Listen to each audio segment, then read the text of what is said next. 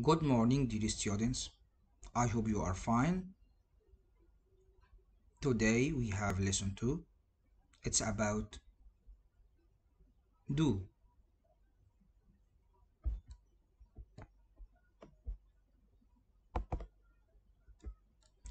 Do is an irregular verb. Its three forms are do, did, and done. The present simple third person singular is does. Does. We use do as a main verb and an auxiliary verb.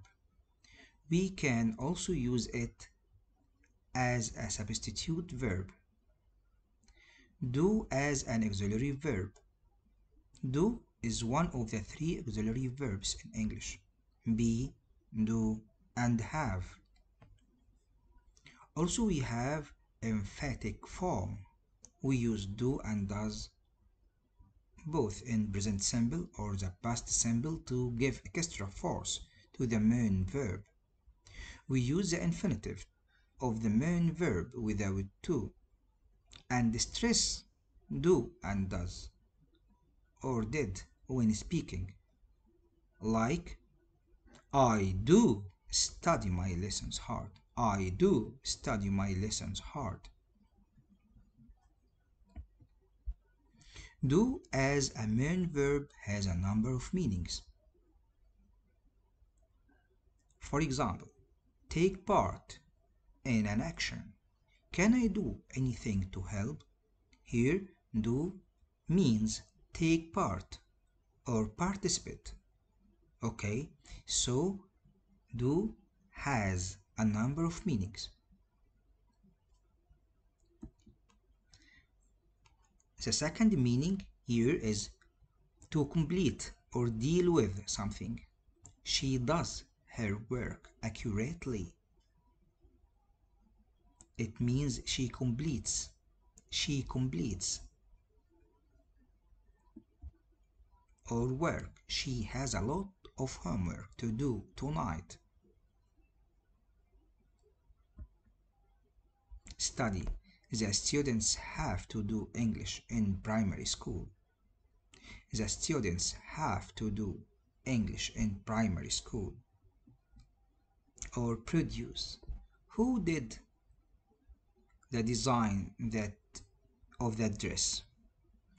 Who did the design of that dress? It means also clean. My sister was doing her room when my mom came back. It means my sister was cleaning. She was cleaning her room. Okay, so now we understand that do has a number of meaning. Not just the meaning that we have said, but more meanings. We, we give an example. We give examples of the meaning of a number of meaning uh, of do. And here we want to uh, show that we have to use do and does. It depends on the subject or the subject pronoun. I do he does. Okay? And you should know that it ends with z sound. Okay? She he does she does it does. We do you do they do do. We use do and does to ask and answer.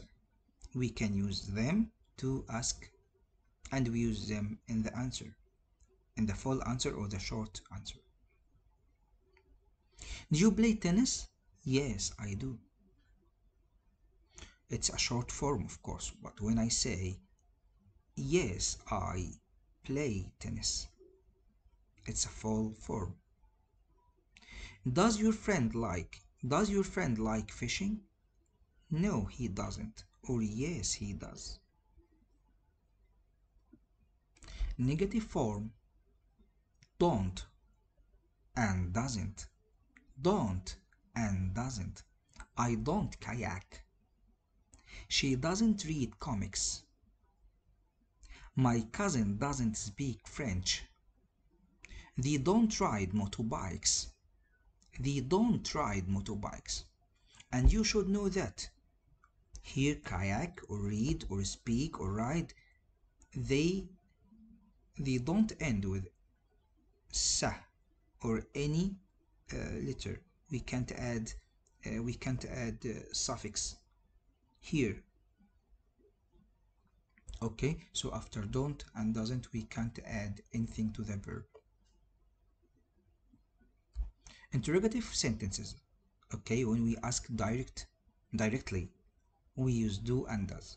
Do you skate on holidays? Yes i do. Or no i don't. Here interrogative form we should use do and does to ask. Of course we use do with i we you and they.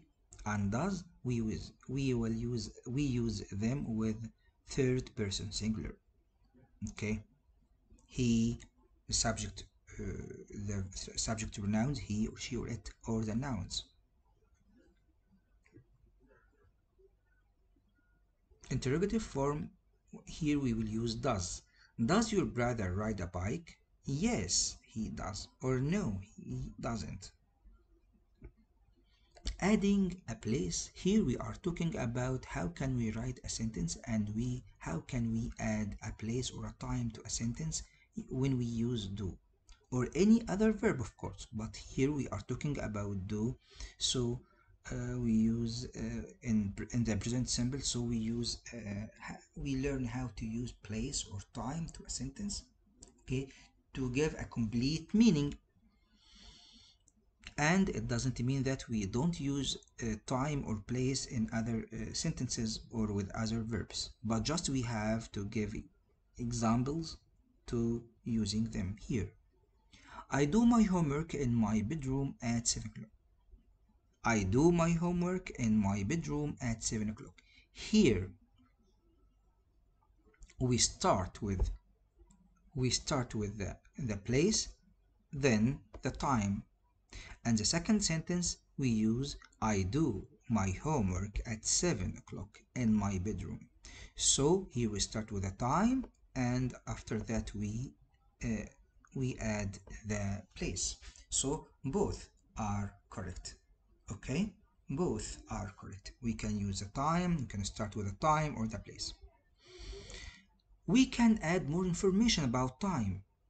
I wanted to remind you that we don't talk about just we, we don't talk about uh, do or does when we talk about time and the place but we talk about any other verb I do sports at 5 p.m. on Sunday here here we add more information to the time on Sunday at 5 p.m. or at 5 p.m. on Sunday okay so we have more information about time we can add more information about place. I do my homework on my desk in my bedroom.